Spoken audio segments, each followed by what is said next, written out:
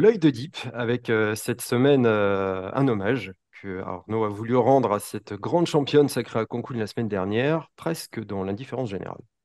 Ouais, presque dans l'indifférence générale. Et c'est vrai que c'est important de revenir dessus. Alors, euh, je veux parler de Iga Zviatek, et non pas Jantek. Désolé pour la prononciation. Je dirais qui Comme finit tu veux, de toute donc, façon. je sais, mais je sais, je sais. Il finit donc numéro mondial. C'est intéressant d'analyser, je trouve, sa saison. Euh, globalement, ça n'a pas été simple. Il y a eu pas mal de, de bas et des hauts pour finir. Et justement, un, énorme haut, puisque bah, je trouve que quand on parle de l'indifférence la plus totale, elle bat quand même Pegula en finale 6-0-6-1. En demi, elle bat Sabalenka 3 et 2. Euh, elle est montée en puissance, elle a fini très très fort, très très fort, alors qu'elle a quand même un début de saison compliqué, avec un Open d'Australie euh, décevant, on peut le dire, avec euh, une petite blessure, alors des douleurs en tout cas, je crois, aux côtes, me semble-t-il. Donc pas mal de doutes en fait cette année. Elle revient euh, sur terre battue, elle est forcément très attendue. Alors oui, à Roland, euh, qu'elle finit par gagner, mais globalement autour, il y a c'est très équilibré. Il y a, il y a, il y a des il y a match, il y a match avec Sabalenka, il y a, cette place de numéro un qu'elles qu'elles vont, qu'elles vont essayer d'aller chercher toutes les deux. Je trouve ça assez in- intéressant, mais elle montre en fait là à la fin que la patronne c'est elle en fait. Et elle sort d'une saison de enfin, 22 qui était phénoménale, euh, qui était euh, voilà, où elle a vraiment dominé euh, de manière, de la tête et les épaules toutes ses, toutes adversaires. Et donc, c'était aussi pas, facile. C'est jamais simple, je trouve, de rebondir comme ça, de repartir après avoir autant gagné, après avoir autant dominé.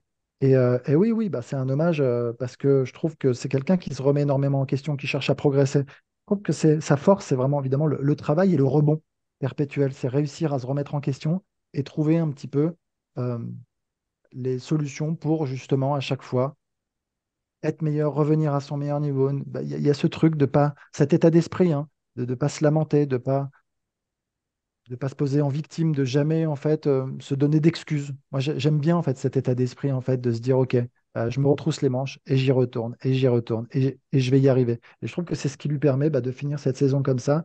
Et euh, on trombe évidemment. Et elle n'a que 22 ans. Et ça, on a aussi tendance à l'oublier tellement ça fait longtemps qu'on la voit sur le circuit. Je ne sais pas si, euh, Alizé et Arnaud, vous avez euh, joué des tournois avec des conditions de jeu pareilles, mais entre effectivement la qualité du cours euh, médiocre et, et une météo désastreuse, et une finale jouée le lundi, il faut aussi le rappeler, c'était un- l'un des plus gros fiascos de l'année au, niveau au niveau WTA. Vous avez connu des, des conditions de jeu comme ça, aussi extrêmes? Oui, oui, oui, oui, oui. Non, mais oui, forcément, non, je sais pas. Euh, Non, mais oui, enfin, après, après, le truc, en fait, pour moi, la différence, c'est que tu, tu peux avoir ce genre de conditions dans les tournois un peu secondaires, entre guillemets. Là, quand tu es sur un, un Masters, ça fait tâche.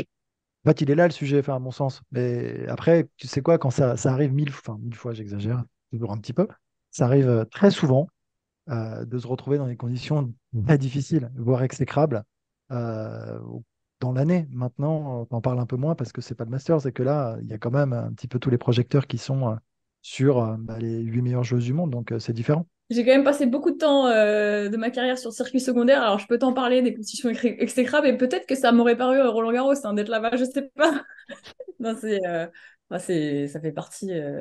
Avant d'arriver à un certain classement, c'est le, c'est le sel de ton métier, de t'adapter à toutes sortes de conditions. Et là, je te parle de choses que tu peux pas imaginer, des, des lignes. euh, Si, la balle touche la ligne, la balle roule, euh, la balle te lobe. euh, euh, j'ai vraiment tout connu. Après, euh, il y a l'Australie, le vent. euh, je me rappelle des. euh, il fallait euh, bloquer les balles, euh, euh, retourner les chaises parce qu'il y avait tellement de vent que les chaises s'envolaient pendant, pendant les points. Enfin, des, Ah, c'est dangereux en plus. gigantesques. Ah non, j'en ai, j'en ai connu. Donc, euh, je compartis énormément. Mais après, comme le disait Arnaud, le problème, c'est que quand tu arrives au Masters, c'est là où tu as envie de briller, tu as envie de faire du beau tennis et tu pas envie que ce soit à ce moment-là que tu sois dans l'adaptation absolue pour essayer de fournir ce qui fait partie de ton travail, ce qui fait partie de leur travail. Et elles le connaissent par cœur, ça. Mais c'est pas le moment où tu as envie de souffrir sur ces choses-là, quoi. Donc, euh, je pense que c'est peut-être. euh, vous avez peut-être l'impression que pour une fois, ça, c'est quelque chose qui peut être contrôlé par la WTA et qui a donc mal été géré de ne pas les mettre dans des bonnes conditions, puisque si on ne les met pas dans des bonnes conditions au Masters, euh, où est-ce qu'elles vont être dans des bonnes conditions?